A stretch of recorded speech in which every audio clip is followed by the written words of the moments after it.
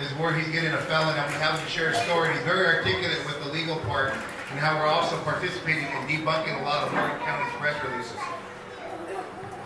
Hello, everybody. My name is Sean.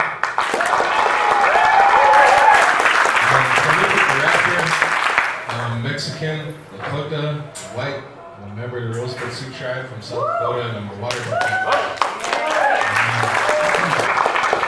true what Myron was saying. Uh, I am facing seven years in prison for shooting this music video. What they did is they said when I was flying my drone that when I was filming the crowd, I endangered them because it could have crashed on them. And they also said I tried to fly into a plane to crash the plane. Neither of them are true, but this is what they're saying. Um, so we're doing the best we can to prepare for that court battle. Um, right now, there's a lot of things happening up there. There's the pipeline. We need the EIS, the full EIS, to start now before gets. We need um, to monitor Morton County and specifically uh, the public defender.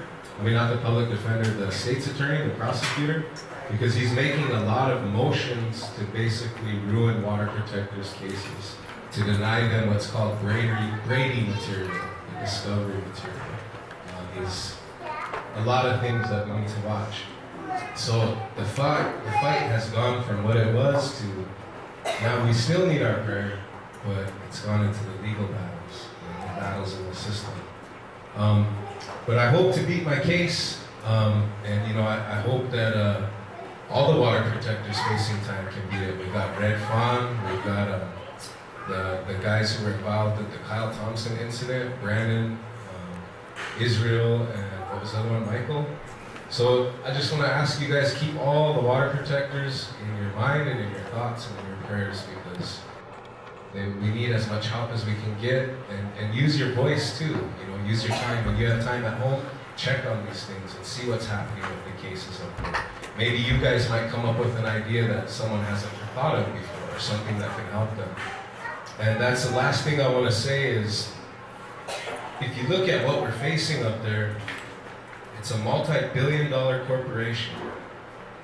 It's a governor's office. It's the FBI. It's the U.S. Federal Marshals. It's Morton County. It's North Dakota Highway Patrol. It's all these things in private security firms. And it seems like an unbeatable force. Like there's no way we can beat that. Yet somehow, because we all came together, even people at home, when we were driving somewhere and we had a question, we just asked it on live stream and boom, there's answers. Boom, everyone at home's researching for us. The donations. Everyone played a part even from home. And that's the only way we're able to stand up to these immovable, uh, very bad forces. And that's because we, the people, have power. So each one of you, whatever you do, I don't know what you do. You're a mother, you're a father, you're a lawyer, you're an activist. Whatever you do, do it the best you can, and always keep in mind the people and keep in mind each other. Because when we're together, we're powerful. We can stop anything. So I love all you guys, and um, that's about all I have to say.